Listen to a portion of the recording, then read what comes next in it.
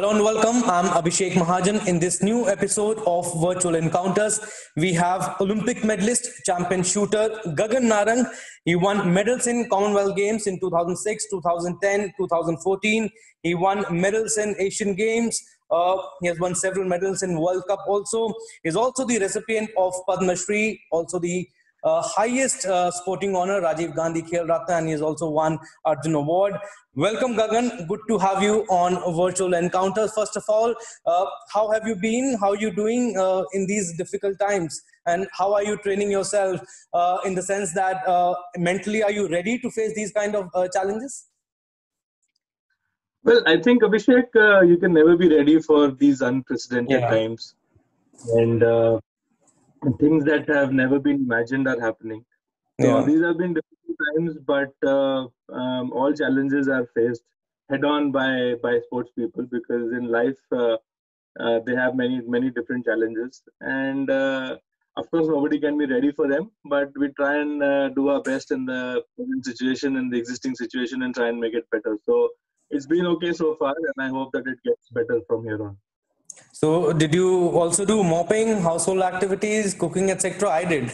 That goes without saying because uh, I mean, when when uh, uh, when the lockdown started, you know, everything was uh, out of sync, and yeah. Uh, so, to, so yeah, I mean, we uh, tend to rediscover our, ourselves because suddenly we have so much time on our hands and we don't know what to do with it. So we start with something as simple as waking up pretty early in the morning and sleeping on time. So start sorting your routines out, sorting your food out, sorting things around you. So there was a lot of junk in my house which I would collect from all my trips.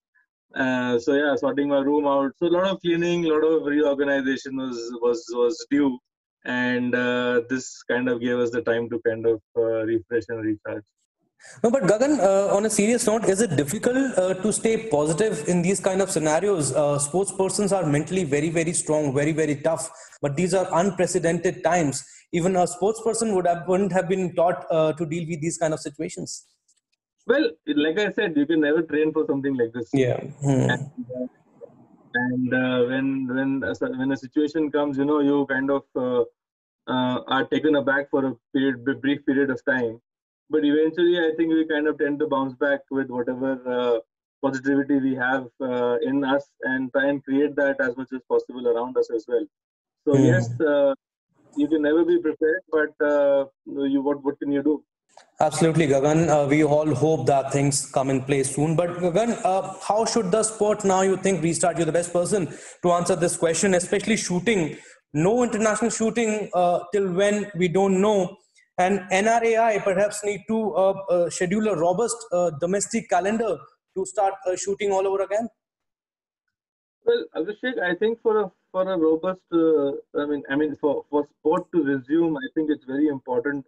I mean, we can do a lot of local competitions, so that's that's not the issue. But you know, suddenly, if the international federation decides to have competitions that would throw the local competitions out of sync. So it's very important that the international federations kind of put their heads together and and kind of figure out how they can do uh, and how they can restart uh, the sporting calendar. Based on that, I think the Indian federations uh, should uh, have a domestic calendar, and then um, they will the, the, the athletes, the shooters will have some motivation to kind of start training again. Right now, we see that couple of a uh, couple of academies and couple of sporting centers are open but not many people are going to these centers. Although shooting and a few other sports, um, I would say are are COVID friendly sports uh, because they have uh, social distancing norms uh, in the way that they are played. But even then, um, it is it is a difficult challenge when you're dealing with kids who are who are young and when you're dealing with uh, people who are uh, uh, coming and going eventually every day. So yeah, I mean you can never be sure about it but uh, our job is to kind of create an ecosystem and give them the facility, follow all social distancing norms. We've divided our shooting ranges into partitions, have minimum uh, 25% occupancy port so that there's no uh, crowding up of the space. Uh, kept in mind about ventilation and about safety procedures of the staff who's coming, and so on and so forth. So, so like, like so, I mean that happens uh, during training, but when you have a competition, that's going to be another challenge totally. Mm. So let's hope that uh, that something can be worked out soon, and uh, and we are back on track. And shooting more than sport, I think it's a mental aspect also. Gagan, what are you telling uh, uh, Elavenil? Uh, you are her mentor, and uh, and a lot of uh, we have a young bunch of shooters sitting on Olympic quotas. Well, there are a couple of uh, shooters that I mentor, and uh, a few of them are in Hyderabad. So yeah, I'm mm. mentoring those often. But yeah, I mean, like I said, you know, technology has never been acceptable so much uh, as it is being accepted in these corona times. I mean, who would have thought we would be doing an internet uh, uh, distance chat show? I mean, you know, if I would say that okay, let's have let's have a chat, you would just send a reporter and we would do it. But now, you know, uh, distance learning yeah. and the internet becoming uh, uh, like more popular. we would tell the new generation that you know, mobile phone come use karo. Let's let's yeah. stick, stick to your you know use less technology and now everything is running on technology mm. so you're hmm. actually telling them that you know start using mobile phones and start studying so yes uh, we have been in touch on uh, on video calls uh, on training but i mean it has its own limitations it's not something that yeah. is 100% uh, effective but in these times like i said uh, we should do whatever we can Mm. But don't you think, Gagan, uh, sport is all about momentum? Uh, if, for example, someone books an Olympic quota, his preparation, everything changes. That I have six months, seven months, or maximum one year. I have to maintain my fitness up to this level, and I have to uh, maintain my A game at this point in time. Don't you think now Olympic shifted, postponed, I should say, uh, one year now by one year? Uh, the preparation changes and the momentum also changes. Oh yes, I mean uh, forget the momentum. I mean, if this was a if this was a situation where where it just postponed without a pandemic, yeah, yeah. it would have been a different scenario. Mm-hmm. But because of the pandemic, it's been like a it's been like a shock in a way. And, and you know when you have to completely stop doing something that you're doing for five six hours a day and then completely occupy yourself in other things. So that brief yeah. period of, of, of pause has kind of shook everyone from inside but uh, everyone's been there. I mean, they've figured out uh, their own plans. They they have set their uh, pressed the reset button on their training, and uh, and uh, if you see, you know, everybody's doing video training. They're doing physical training, something that they never got time for earlier. Uh, pre- prepare themselves mentally, prepare themselves physically, get rid of all the aches and pains. You know, and then get into the competition zone when when things will get back to normal. So it's been it's been a challenge, but I think every shooter out there, whether it's Apurvi, whether it's Anjum, whether it's uh, Elavenil, whether it's uh, um, so many shooters out there, except uh, the outdoor uh, events like the shotgun shooters and the and the 50 meter rifle shooters, they have a challenge yeah. because yeah, they have to go to but uh, all the air rifle shooters ha- have established uh, effective shooting ranges in their houses and very close to their houses that they are able to train. And their coaches have been behind them um, on virtual training sessions and trying to kind of uh, effectively solve these problems. So i think uh, that's that's something that's happening and uh, and they're they're taking care of their nutrition like they've never been before because they're at home and they're in a controlled environment.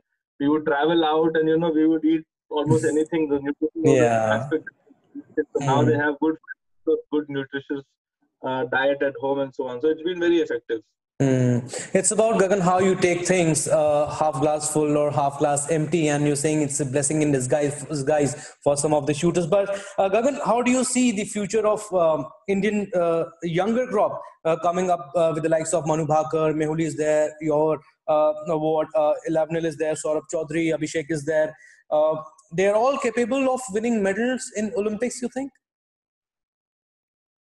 Well, in a sport like shooting, you know, the selection happens in a way that, you know, someone who's not capable doesn't go. So mm. it, it's, it's, it's a tough uh, qualification. And earlier, you know, it was difficult. It was it was something that we would we would really something that we should really think about. That earlier we would just our goal would be to just get a quota place and represent or participate in the Olympics. But uh, um, our generation said that okay, I think participation is something that is that has gone back. We should try and see if we can finish in the final or win medals. Mm. Some of us, this generation, the new generation, the new crop, the names that you just took, they don't want to participate in an Olympics. They don't want to be in the final in an Olympics. They just want to win a gold medal. Oh. Absolute, pinnacle of, of, of uh, Olympic glory. So they're not going there for participation on winning a bronze. They're aiming for the gold. And uh, and each and everyone has the potential to kind of win and uh, may the best shooter win and and at the end of the day uh, the indian flag uh, matters and uh, that is what that should be unfold whether it is anjum whether it is apurvi whether it is saurabh it has to be from india i mean i would wish that it is from india so you're saying the mindset has completely changed, a fearless uh, attitude that they have. But Gagan, how has that transition uh, taken place in Indian shooting? Earlier, uh, it was uh, uh, Singh Rathore, then Abhinav, when you, uh, Vijay Kumar, then won the medal in Olympics. It's and now it's the entire crop and the mindset that you just mentioned. How is it, has that transition taken place? Well, during our times, I think you know a lot of information was missing in the system. We would okay. uh, depend on coaches. We would depend on on on um, external help. Uh, we would watch other shooters shoot. We would watch uh, uh and figure out what what's happening across the world. But now that the foundation and that knowledge and the system, that knowledge and the technology and the and the training methodology is back into our system through our uh, coaches who if you, if you see our coaches yeah. they have been elite themselves. And uh, all that knowledge is coming back into the system. Mm. so uh, the benchmarks have already been set. So these kids in today's generation have to just do a few notches better than those benchmarks. The path has already been laid for them. For us we had to we had to find our ground dig the path dig the road and then make the path.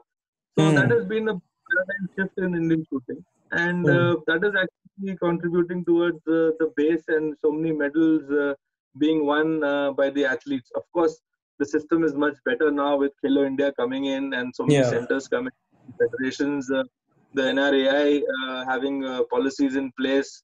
The import of equipment has become much easier. Earlier, importation of equipment would would take one year or even more sometimes uh, which by which the when the rifle or the ammunition would come, you know, it would be outdated, and we were we were competing with inferior uh, technology. But yeah. now we have we have the same, we have the best weapon, and it, it comes to you within a week or ten days.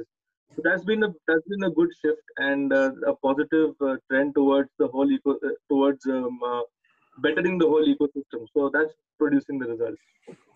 And Gagan, also, I was talking to Shimon Sharif a few days earlier, uh, earlier and uh, he came out with the uh, concept of online shooting championship. Uh, uh, and uh, he said that it's a good way to keep young shooters engaged through online. they cannot practice now. With this way, they can at least get into the groove again. How did you like the idea? Well, frankly speaking, online shooting and online coaching was something that was not uh, effective until mm. COVID. Mm. And but this pandemic, like I said, has set. And uh, having a having a online shooting competition instead of not having anything at all is a welcome sign. And uh, I think uh, these competitions uh, should continue to happen to keep the sports people, to keep keep the shooters engaged if you look at the age of these players, Manu Bhaker is there, Anish Bhanwala, Saurabh Chaudhary, they are all below 20. Lavnil is also 2021. Is this becoming a sport of younger generation? Well, uh, yes, definitely. I mean, if you, you see more youngsters coming into into the mm. play, and these youngsters are fearless and talented, and most importantly, they have no excess baggage. So they are totally fearless. But we have stalwarts like uh, uh, Sanjeev, we have we have Anurag Singh, we have Rahi Sarnobat. So. Yeah so we have we have a good mix of uh, seniors and juniors, and I think uh, they have someone to look up to in the team as well. So hopefully, yeah. it's going to be a well balanced team. Hmm. And also, Gagan, India have been doing well in uh, Olympic sport. Uh, I mean, be it uh, archery, shooting is there. I mean, any sport you take, India have been fairly doing well in athletics now also. But uh, do you think now that a sporting culture has developed in India wherein uh, parents are also not scared of uh, sending their ward uh, to sports schools? Say, padai nahi karni I mean, uh, yeah, you can go to a sports school also. Well, Abhishek, uh, I was always from a school of thought that said, yeah. Khiloge, banoge nawab, and not the other way around. yeah. so, so yeah, I always believed in that, and that's how uh, my uh, upbringing has been. But Mm. yes, there has been a big shift uh, in the mindset of people, and uh, especially after so many victories. I mean, if you see Olympic victories in hockey, then Leander, Leander Paes winning a medal, Yeah. then uh, Karnam Malleswari, Colonel Rajyavardhan Rathore, Abhinav, me and Vijender, Sushil, Mary Kom, Saina Nehwal, Sindhu, Sindhu, Sakshi. Yeah. Have been have been really brilliant and have been each one of them are role models in itself and motivating the youngsters to to take up to the sport. And the encouragement they get from their state is also incentive enough for uh, for so many people to take up to sport. Besides that, I think the Khelo India, the Fit India movement uh, started by our Honorable Prime Minister and the Sports Minister has uh, has transformed sport at a lower level. Yeah. Earlier, only if you would go to a Commonwealth Games or only if you go to a to a big tournament, you would get uh, assistance. But now they are getting assistance from right from the time they think about you know that yes, I need to get into sport. The first step in itself is okay, win the Khelo India Championship because you will get scholarship after you win that championship. Once that Hmm. scholarship is there, the athlete gets a, a stipend. When he when he gets a stipend, he takes some money back home. The parent is also happy that you know, okay, you're not a burden. I mean, your sport is being taken care of, and you're getting some money home. So that is Mm. the most encouraging factor in their lives, and Mm. that is why this push is coming, wherein youngsters are. Uh, wanting to get into sport after Khelo India, they have the university games, and then they have the national championships, and then they have the selection, and so on and so forth. So that ladder has been formed, that chain has been formed that is a Hmm. very positive sign, and I think that will, in the coming years, transform uh, the sport, uh, the sporting scenario in the country totally. Yeah. And talking about your own journey, Gagan, uh, you have won almost everything in your career. A set of medals, the entire set, Commonwealth, Asian Games. Uh, you have got uh, uh, Padma Shri also, Arjuna Award, Khel Ratna. You have won Olympic medal also. But what has been your biggest regret? Not winning medal in 2008 in Beijing because you were doing so well, you were in form, and not picking up your gun for so long after not winning in Beijing. Tell us that story, please. Well, uh, well, I think these are unprecedented times, and honestly, I think if we survive through 2020, we should be happy. So, in the past right now. But yes, uh, talking about Beijing, it was a big disappointment uh, uh, during that time because uh, I was uh, close, so close, but yet so yet so far from the Yeah. from the medal. But uh, but like I said, I mean, I, when you have a good support system around you, when you have a good uh, uh, good good coaches, uh, your family support. I mean, it, it's a different ball game altogether. So you gather the strength and the energy to kind of uh, get back into the game. And I think one and a half or two months later, I shot the world record of 600 out of 600 Yeah. and won the world. So so yes, it was a it was a blip, a huge blip. It was a it was a huge burden for me, and uh, and I was uh, delighted that I could uh, get that out in London in 2012. So, I mean, who supported you then? I mean, uh, your father that you picked up your gun again and uh, you did brilliantly again in the uh, next two, three months. Well, everybody, I think, I mean, you know, when you're shooting the Olympics on the firing line, you're alone. But uh, behind you, you have 200 people who are working and praying for your success, or even more. Yeah, that's but, right. Uh, but uh, I mean, my parents, my my my physio, my mind trainer, my coach, my friends, they were all uh, um, didn't didn't stop believing in me. Although a lot a lot of people did, and a lot of people said, you know, I think uh, that's the end of his career, and he's not going to get back. Uh, I think that's his last Olympics, and so on and so forth. But I'm happy that I could prove them wrong and uh, and get back into the game and win a lot of medals after all.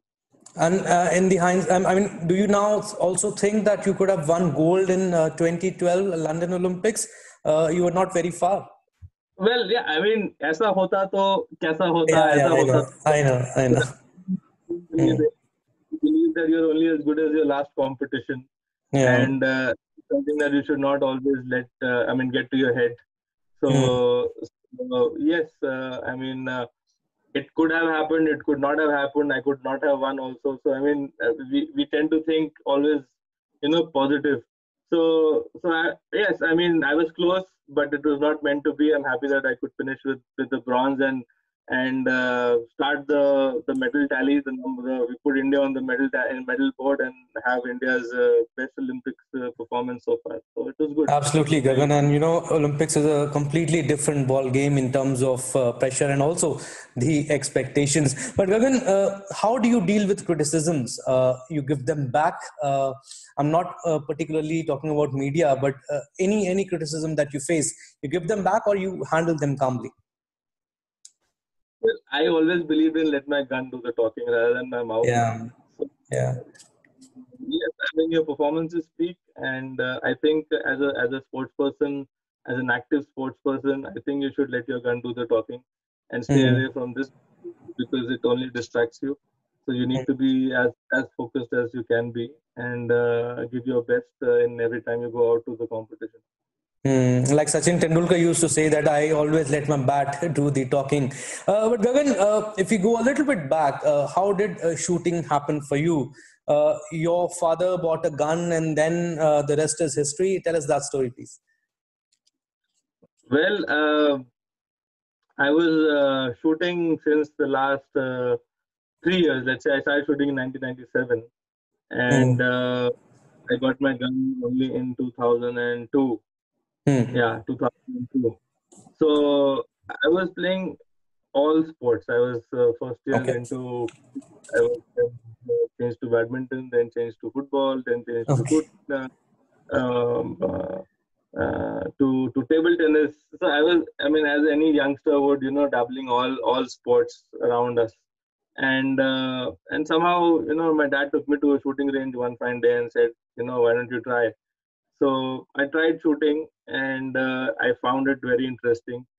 And uh, I uh, uh, came back home. I filled the form. I came back home. I was excited to go to the next day. And I was in the evening uh, riding a cycle. And unfortunately, I had a fall from the cycle from the first floor down the steps.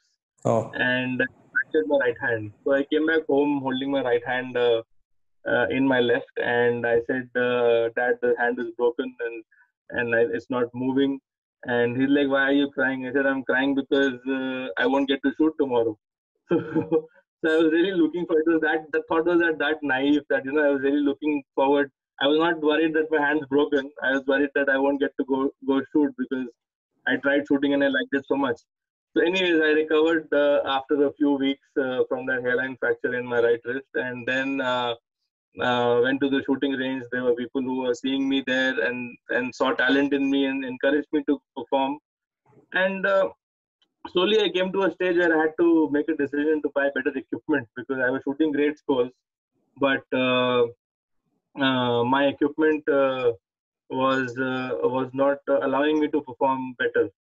So I was looking for a gun, and I, I, I used to shoot with a borrowed gun of another player. Okay. Hmm. and went to the range. So I would go to the range, I would shoot for two hours, and then I would wait for others to come. So mm. the other seniors would come to the range, shoot with sophisticated weapons.